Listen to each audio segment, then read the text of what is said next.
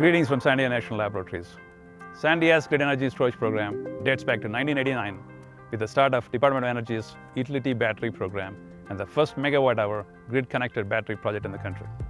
Ever since, we have been supporting the DOE energy storage program through the laboratory R&D and DOE-supported demonstration projects around the country. Department of Energy has recently identified energy storage as a grand challenge, emphasizing the importance of energy storage as a critical technology for the future. In energy storage, we have a broad research program that spans battery materials R&D to analytics to demonstration projects.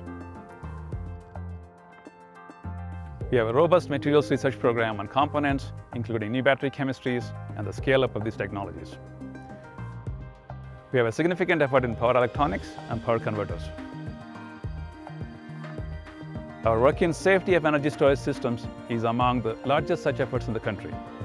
We have been growing our role in developing tools for analysis and evaluation of energy storage for grid applications. We have a robust outreach program to state energy agencies, regulatory bodies, utilities on the value of energy storage for the grid. Our role in DOE demonstration projects has been instrumental in the growth and adoption of energy storage. Energy storage is a cross-cut at Sandia.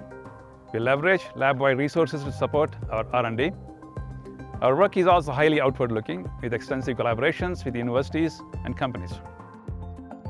Energy storage is at a point of major takeoff. This is an exciting time to be in this technology.